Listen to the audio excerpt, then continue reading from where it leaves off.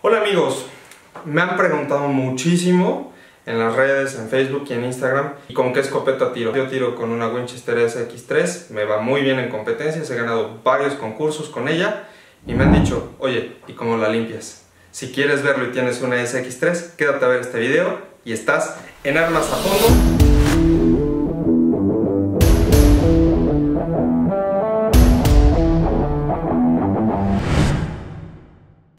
Pues miren, para empezar amigos, tenemos la primera parte que es el cuerpo como tal y el cañón. El cañón lo tenemos de este lado. Yo siempre digo, ¿sabes qué? Vamos a poner dos hojas dobladas. Vamos a poner la primera, la segunda, sobre todo para no ensuciar y manchar. Lo demás, aquí tenemos pues Remington a mí me gusta muchísimo, limpia bien. El Power Blast, este hay que ser muy cuidadosos porque si le ponemos este líquido a las partes que están pintadas o las partes que están tratadas para camuflaje, eso se lo va a llevar. Entonces, aguas, mucho cuidado, es un solvente muy, muy, muy potente. Igual que este, este solo en las partes a donde realmente está muy impregnado, que no está pintado ni nada. Entonces, el Gun Scrubber es algo muy agresivo y hay que tener mucho cuidado. Vamos a empezar. Primero, desarmamos el tapón. Ahí está. Lo quitamos de este lado. Guarda manos. Como se pueden dar cuenta, pues está algo mugrosona. Estoy regresando de una tirada. Quitamos pistón, lo ponemos de este lado. Quitamos el contrapistón. Este es de plástico. El resortito.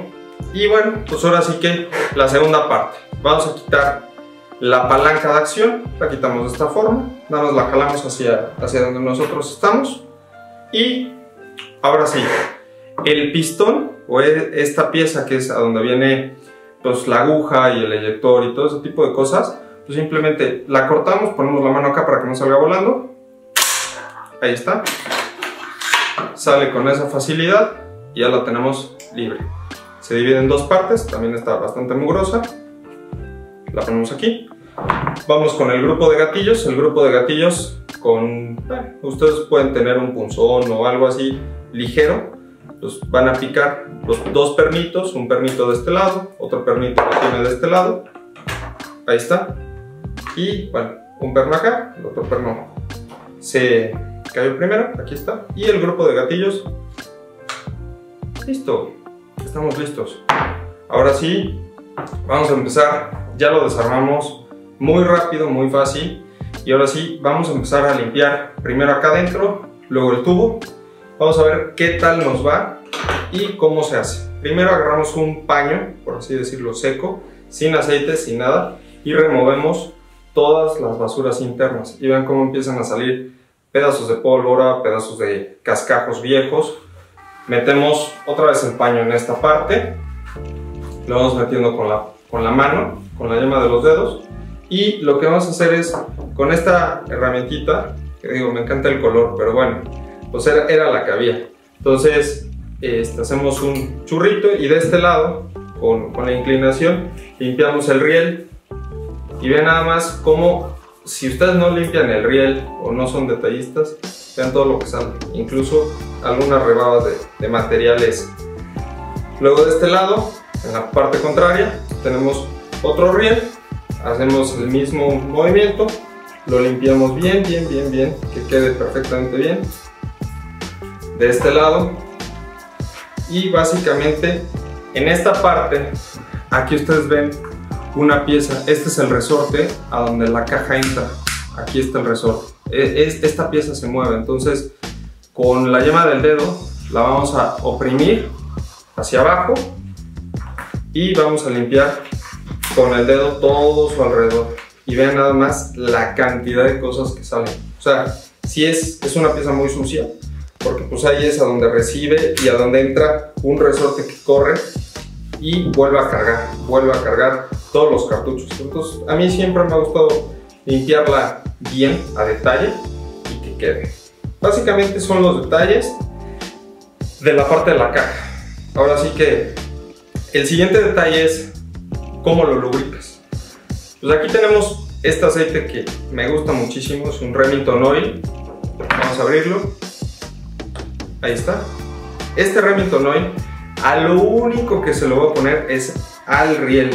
Le voy a poner un par de gotitas, tal cual, dos gotitas y al riel del otro lado. El riel del otro lado está justo aquí. Dos gotitas nada más. Es lo único que lubrico. De ahí en fuera no tengo que lubricar otra cosa porque si lubrico otra cosa se va a pelmazar materiales y, bueno, etc. Aquí acabo de ver un poquito de suciedad. Listo, ya quedó. Ahora sí, listo. Entonces la dejamos por este lado. Vamos a dejarla aquí tantito y ahorita le seguimos. El grupo de gatillos.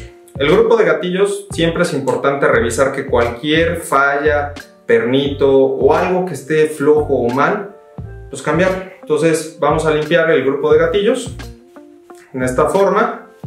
Vamos a revisar en la parte de abajo. En la parte de abajo siempre se acumula pues, suciedad. Vamos a ver, aquí están cayendo gran parte de la suciedad. De esta parte, que es a donde pues, es, es la parte más sucia de la escopeta. Aquí lo que yo hago es disparo tantito aquí está, pongo el dedo para que no se lastime ninguna pieza, nada más lo limpio superficial, no es necesario desarmarlo, sobre todo si no tienes alguna falla como tal, nada más es una limpieza, revisar que los mecanismos estén actuando bien, lo escuchas, está limpio, entonces ya una vez que esté limpio como tal, el siguiente paso es con el mismo aceitito Remington Oil vamos a poner una gotita en los mecanismos de movimiento que básicamente es este. Le damos tantito hacia arriba hacia abajo. Subimos y bajamos el, el elevador. Al subir y bajar el elevador acá tiene otra pieza de movimiento. Siempre es bueno y recomendable todas las piezas darle un poquito para que el, aceite lubrique y no se resbale. Entonces ya una vez que lo tenemos así todo el exceso hay que limpiarlo sí hay que limpiarlo, vale la pena limpiarlo porque si no, pues en tiradas o en situaciones que tengamos nos vamos a estar ensuciando las manos. Y sobre todo el aceite, a donde lo queremos, ya está, porque ya lo acabamos de, limpiar. Entonces, ya tenemos el grupo de gatillos listo y limpio. Seguimos con el resorte, el resorte es algo muy sencillo. Este resortito siempre me gusta darle una, una buena pasada, nada más ahí está como sí tenía suciedad. Este es el contrapistón, el contrapistón pues a final de cuentas es algo muy sencillo, pero ven, sí tiene y bastante mugre, entonces ahora sí que con, con su dedo no tiene problema, no es filoso, viene en este caso de, de, esta Winchester viene de plástico, la SX4 me parece que viene igual y la SX3 idéntica. Vamos a limpiarlo, ya lo tenemos. Limpiamos el jalador o o pues como dicen los gringos, el, puller, pero pues nosotros aquí la traducción correcta es el, el mango, ¿no? Entonces limpiamos los pernitos. Vamos con dos piezas críticas y es este. Aquí está la aguja, en este caso la, la vemos cómo está saliendo. Siempre es bueno revisar que haya algún detalle adicional que no, si no te gusta o algo, bueno, pues ahora sí que llamar al, a las personas aquí en México hay representantes de Winchester y de Browning. Entonces este, revisarlo. En este caso pues vemos que a pesar de que le puse el trapito pues no quedó limpio entonces agarramos nuestro cepillito le damos una cepilladita ligera en esta situación sobre todo para que la uña esté perfectamente bien limpia no nos vaya a fallar en tiradas o en cacerías o en campo. Le seguimos dando una muy buena limpiadita. Ahora sí que de esta forma.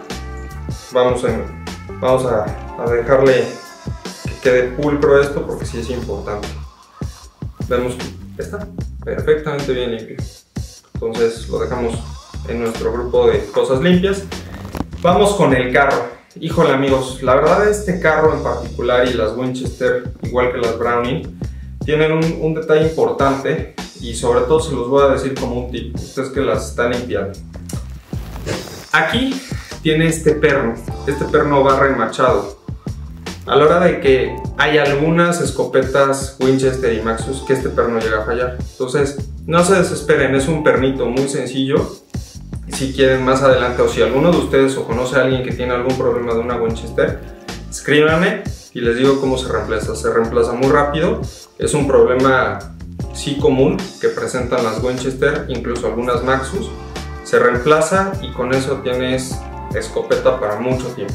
Lo único que hay que hacer, en pocas palabras, es agrandar un poquito el barreno, meter un acero que se llama acero plata, se remacha de, adentro hacia afuera y ahí está remachado y con eso queda perfectamente lista. Si ustedes tienen broncas, de verdad, échenme una llamada y les digo cómo se hace.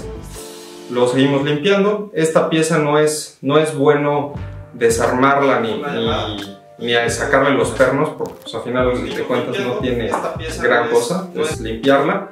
Sí es importante que si tienes una Winchester o Maxus, revises que este perno, y lo, voy a hacer acá en el zoom de la cámara, este perno como tal, no tenga juego. Este que está aquí.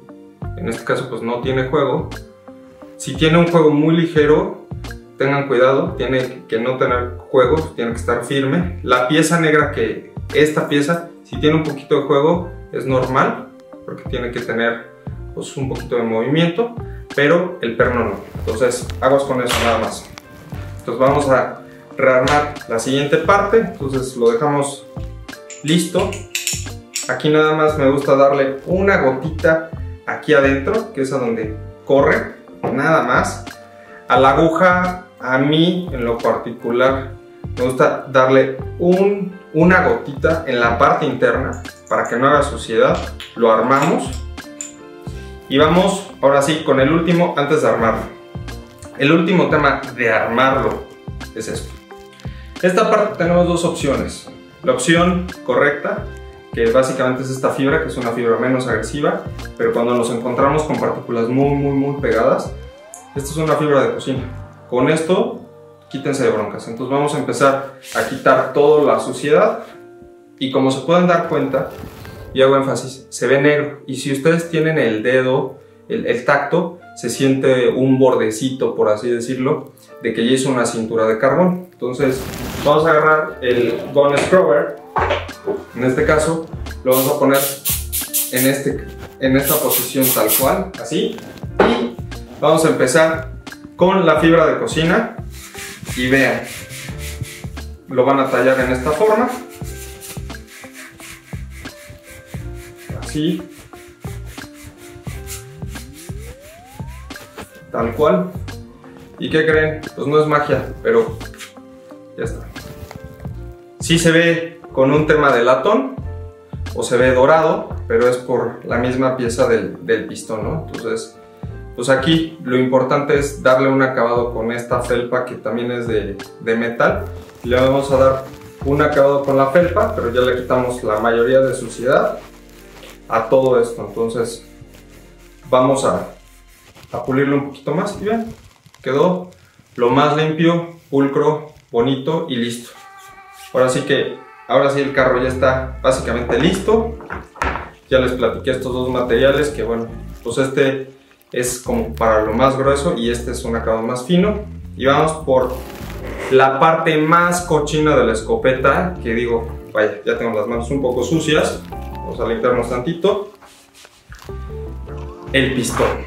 Híjole, este pistón es la cosa dolor de cabeza de muchos y broncas de bastantes personas y amigos que conozco. Vamos con el Crown Scrubber nuevamente. Lo bañamos.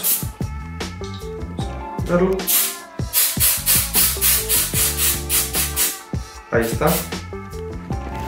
El Gun Scrubber lo que va a hacer va a ser remover la parte interna Vamos a ir con nuestra fibra también antes de que se seque el pues ahora sí que el ingrediente o el removedor.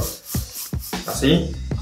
En la parte interna también está muy negro, entonces vamos a tratar de, de ponerle un poquito de énfasis a la fibra por dentro.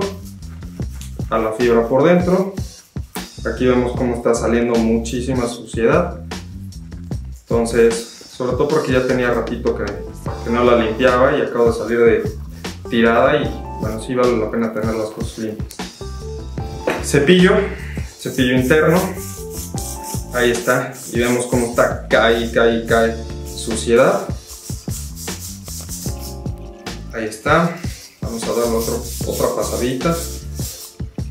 En este caso, en la parte de atrás no es bueno ponerle cepillos ni nada porque tiene un sello. Entonces, ese sello en la parte trasera, pues nada más con la misma toalla limpiadora y listo. Ahora, la parte del pistón, no lo vayan a desarmar porque pierde la garantía de la escopeta y pierde la garantía de la pieza y vale como 200 dólares. Así que no se lo recomiendo. Entonces, con la punta de los, de, de los dientes, nada más denle una pasadita ligera, o sea, tal cual, a los agujeros para que no quede, pues ahora sí que más sucio de lo debido. Le dan su pasada, le siguen dando, ahora sí que nada más es algo muy superficial y ahorita van a ver cómo nos queda nuestra pieza totalmente limpia, lista para la acción y lista para la, siguiente temporada nuestro ground scrubber y vamos a limpiarlo.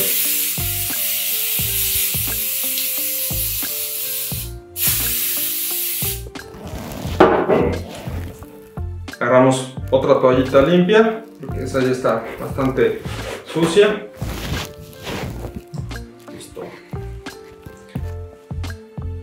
¿Qué tan limpio habrá quedado amigos? Pues bastante, bastante yo diría.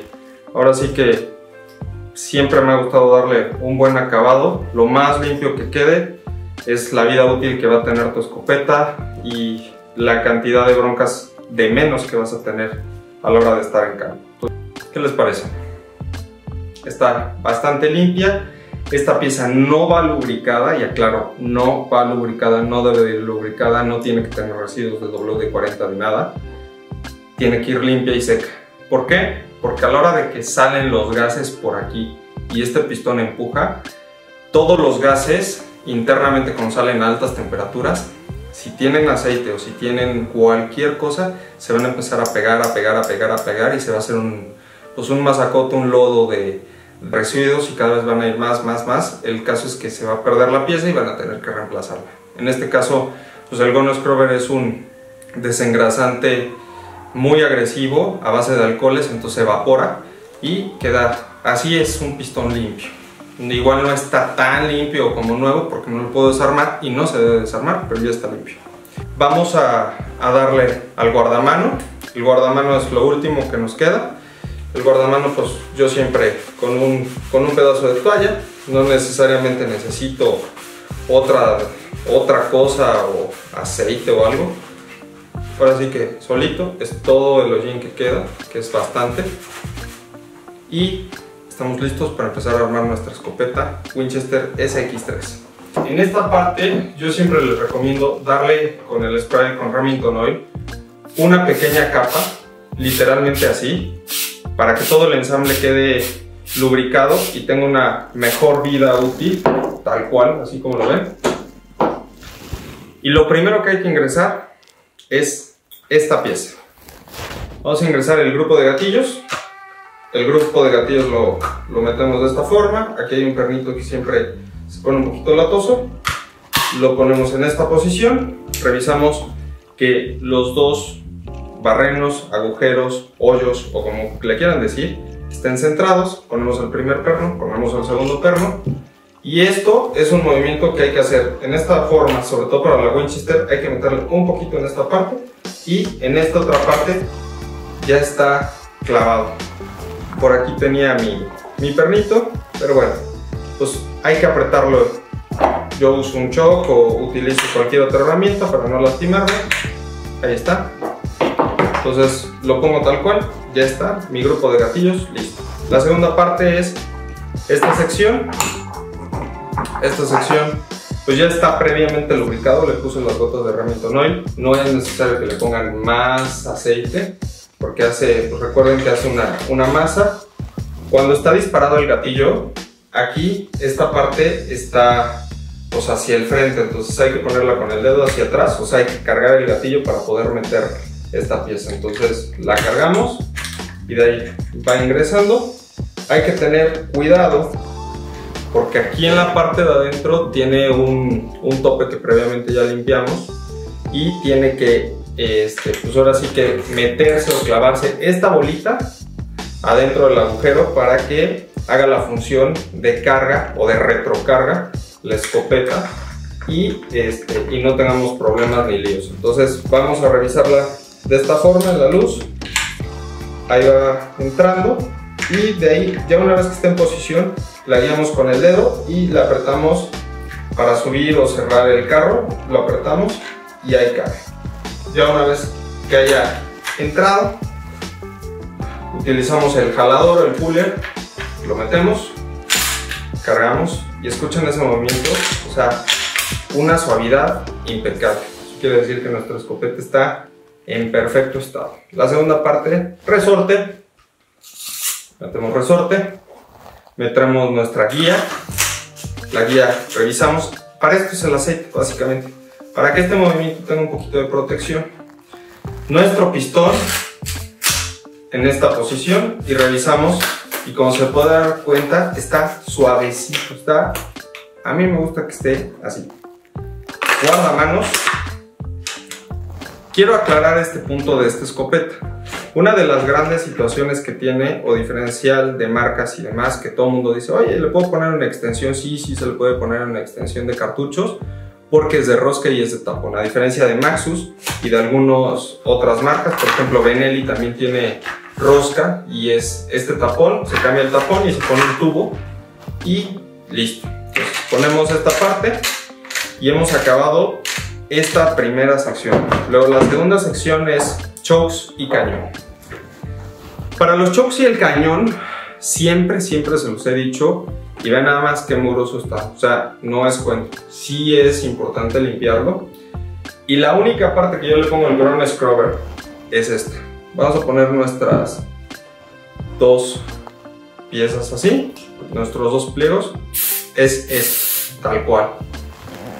Nada más. Y hay que quitárselo rápido, lo, lo más rápido que puedan, porque si no, y sobre todo en escopetas que tienen camuflaje, se les va a levantar el tratamiento o la película o lo que le pongan. Es un solvente muy agresivo. Entonces, siempre tengan cuidado, por favor, porque pues, no se lleven el susto de que su escopeta ya se fea. El cañón. Para limpiar la parte del cañón, a mí me gusta limpiar esta pieza primero y esa pieza la limpio primero con el cepillo. Hay que tener cuidado porque de este lado tiene un sello de plástico, un O-ring, y ese sello, pues por ningún motivo ni hay que picarlo ni hay que sacarlo, es un tema delicado. A donde se le da mantenimiento es de este lado. Con este cepillito, puede ser de latón o de acero inoxidable, pues vayan dándole despacio en esta forma, dándole vueltas circulares y ahorita van a ver el, gran truco de que su escopeta semiautomática esté funcionando al 100. Entonces, ahí está como está cayendo. Y a mí en lo personal, siempre este tipo de escopeta se hace una especie de cintura interna. Entonces, con una charrasca, que es un pedazo de cegueta desgastado y con esta cinta de aislar, la punta está chata, no tiene filo. Entonces, nada más hay ligeros asentamientos de carbón. Entonces, le voy a dar un poquito a los ligeros asentamientos de carbón sin tallarlo, o sea, nada más eh, pues, desgastándole un poquito los, los asentamientos. Los voy a poner de este lado porque luego se hacen unos grumos bastante grandes. Aquí está uno, ya se lo quitamos. Este el otro. Ahorita van a ver la cantidad de carbón que parece mentira, que obviamente el cepillo no nos va a dar. Entonces, así. Y vean, ahí está todo el carbón que quitamos. Le damos por último con el cepillo una vez más. Así aseguramos que la contra del pistón y que los gases no se sigan acumulando todo el carbón y el hollín. Le metemos nuestro trapito y listo, ya quedó limpio. De este lado nada más es con puro trapo o toalla limpiadora. Las limpiamos perfectamente bien por fuera. Y ahora sí, vamos con el interior. El interior siempre le recomiendo usar Remington Oil, no un solvente agresivo, porque si se nos va, se van a despintar las partes. Entonces, lo primero es ponerle el aceite en esta posición y de ahí yo utilizo siempre, a mí me gusta el snake, culebra, víbora o como ustedes le quieran llamar. Entonces lo utilizo, me da muy muy muy buen resultado, siempre de atrás para adelante, no de la punta del cañón hacia atrás, siempre de atrás para adelante para que vaya limpiando. Lo meto y siempre les pongo de 3 a 4 veces. Entonces para la primera, ahí está, y ve nada más toda la suciedad que sacó. Entonces, ahí está, digo, estaba nueva esta culebra. Para la segunda, lo ponemos así.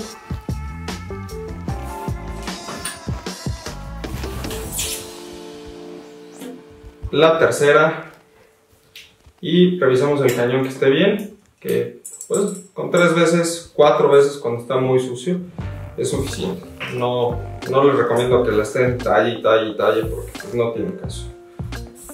Ahí está. Entonces, siempre a este tipo de escopetas, revisen su cañón. Ahí está revisando el cañón, perfectamente bien limpio, pulcro, listo. Dos detallitos. El primero, deben de estar limpias estas piezas, que es a donde el eyector funciona o saca el tiro a donde descansa. Esta pieza es importante que la limpien, nada más con una unita como esta, la limpian y listo. Una vez limpia, ya está básicamente listo. Y el segundo factor que es importante y de verdad se los pido amigos, ustedes que me están viendo que tienen algún brownie, Maxus Benelli, César Guerini, siempre quítenle el choke que tiene la escopeta y pongan una gotita de, aceite o revisen las roscas y ahorita se, se, los voy a explicar por qué. En este caso es Invector Plus. Este es Invector Plus. Entonces, lo que pasa es que empieza a hacerse un, un masacote de óxido y luego la rosca la, la daña internamente. Entonces, en este caso, que no está tan dañado, vean, nada más un choke muy usado. Este es es quemado, igual es Invector DS y este choke lo he usado poco, es un choke full. Entonces ahorita lo importante es revisar el full, darle una buena limpiada así, nada más superficial. Con la misma charrasca o, la herramientita que tengan, hay que quitarle la cintura y aquí está. Este es el gran truco de conservar bien tus chokes y lo vas a quitar en esta forma. Lo vas a limpiar así y vas a tener tu choke porque eh, de una u otra manera aquí es a donde se junta todo el plástico y empieza a ver, he estado tratando con cepillos, a mí no me han dado resultado. El mejor resultado es esto, sin filo, como se los vuelvo a decir, no tiene filo. No lo tallo con fuerza. Y después de eso, pues ya le meto lo que yo quisiera que fuera el snake o un mismo trapo nada más. Y con eso los limpio y me queda el choke básicamente impecable. Una vez que tengo el choke listo, voy a revisar el cañón y el cañón pues, efectivamente está sucio. Entonces con un poquito de Remington Oil lo pongo y con nuestro trapito o toalla, aquí en este caso hay unos cepillitos un poquito más profesionales, pero si no los tienen, hagan un churrito y vayanlo metiendo suavemente hasta que entre más o menos la dimensión del, del choke. Y con eso se van a evitar muchas broncas. Ahí está toda la parte de suciedad óxido. O sí hay que quitarle el choke, sí hay que ver y revisar que estén bien las cuerdas. Ahí está. Meto otra vez el, el pedazo para que ustedes lo puedan ver en cámara y revisen bien su escopeta porque si no lo hacen, de verdad les va, le va a dar unos dolores de cabeza a ustedes y sobre todo a la hora de quitar los chocks se van a amarrar y, y bueno, luego es una lata. Entonces con nuestra herramientita que tenemos aquí lo metemos un poquito a fuerza y ahí está. Ya, ya una vez que está limpio, lo que deben de hacer o lo ideal es una gotita, nada más, así tal cual, en las cuerdas.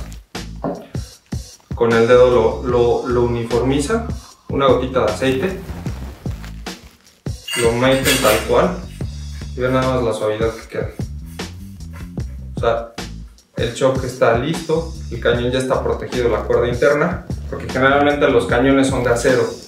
Viene pagonado sí, pero no tienen la protección de la, de la rosca pagonada y demás, entonces sí se oxida, no es bueno. Entonces ya queda listo esto. Por último, este choke que está quemado, está muy sucio, lo ideal como se los decía, nuestra fibra, tenemos nuestra fibra estrella, aquí sí le pueden poner un poquito de con scrubber rápidamente por, por adentro. Le ponen tantito con la fibra para que se, se quite todo lo quemado, todo el carbón, todo el hollín le meten la charrasca por dentro sin filo, acuérdense sin filo. Y quiero que vean cómo están cayendo los pedazos de plástico incrustados que ningún cepillo o que muy difícilmente los van a ver. Así ustedes van a conservar sus chokes en perfecto estado y vean. Ahí está toda la suciedad que si yo lo hubiera puesto en cepillo nunca hubiera podido. Entonces volvemos con nuestro trapito, limpiamos. Si es bueno darle su limpieza a los chokes de vez en cuando, sobre todo porque pues de una u otra manera si son cazadores o tiradores, pues hay que darle mantenimiento a las cosas. Ahí está. Tenemos el choke listo, pulcro y limpio. Ahora sí amigos, ya estamos listos para ir a nuestra próxima tirada o ir de cacería para la próxima tirada. Este es un review de una SX3 Winchester. Me gusta mucho, tiro con ella, he ganado bastantes y varios premios.